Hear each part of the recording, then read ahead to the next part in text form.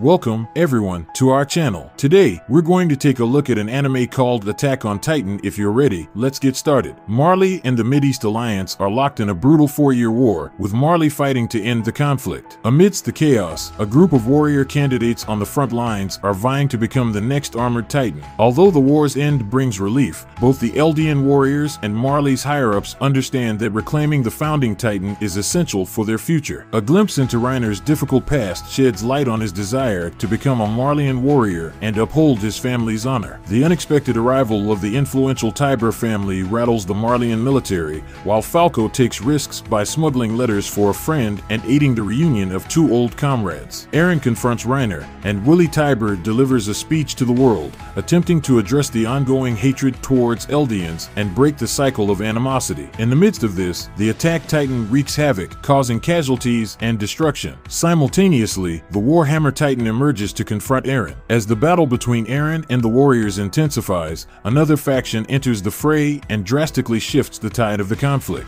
Exhausted, the armored Titan falls, provoking Gabi's fury, leading her to take up arms and embark on a personal mission. In Paradis, the aftermath of the raid on Liberio unfolds, prompting Armin to reminisce about meeting the volunteer soldiers who reshaped their world. Two years ago, an unexpected visitor arrived in Paradis, surprised to encounter someone from their own homeland. Their assistance becomes crucial in a three-part plan to safeguard Paradis. Gabi and Falco manage to escape from prison, but find themselves directionless until they receive help from the very people they despise. Meanwhile, Floch's perspective undergoes a shift, and the military corps faces new challenges. In the midst of confusion, Eren sets his plans for into motion. Zeke's intentions become known, and as the Jaegerists gain control, the true identities of the two warrior fugitives are exposed. Eren engages in a tense confrontation with Armin and Mikasa, while Levi battles Zeke. A glimpse into Zeke's past reveals his struggles to become a warrior and his desire to end the suffering of all Eldians, stemming from a chance friendship in his youth. With the Jaegerists in charge, Zeke's master plan is unveiled, but not before Eren seeks help to root out any infiltrators among them. As the Marleyan Air Force invades Paradis, Eren continues his battle against Porco Galliard, joined by Reiner in his armored Titan form. The Beast Titan also enters the fray, with General Magath determined to bring him down. Amidst the city engulfed in flames, Colt and Gabi race to rescue the captive Falco from the Jaegerists. Colt pleads with Zeke not to transform Falco into a Titan using his scream. Meanwhile, soldiers and Titans clash, and Eren struggles to make contact with his brother. Zeke takes Eren on a journey through Grisha's memories, revealing how he was manipulated. However, Zeke stumbles upon a revelation about Eren that he never anticipated. Eren and Zeke clash over their conflicting ideologies and shattered emotions, while Ymir, the founder of the Titans, unveils her tragic past and deepest secrets hidden within the walls. With the walls of Paradis destroyed and Shiganshina overrun by Titans, the scouts find themselves battling their former comrades. Amidst the chaos, Gabi remains determined to find and rescue Falco at any cost. With the rumbling initiated and all hardened structures undone, Annie regains her freedom. As the Jaegerists take control of the island, Connie rushes to Ragako, intending to feed Falco to his Titan mother. In Ragako, Connie devises a plan to deceive Falco into being consumed by his mother. Elsewhere, Jean, the hero of the Eldian Empire, prepares to execute Yelena and Onyankopon for their crimes against humanity. In a forest, Marleyan stragglers and island fugitives set aside their hatred and attempt to engage in conversation without violence. The Azumabito's flying boat is heavily guarded by Jaegerists,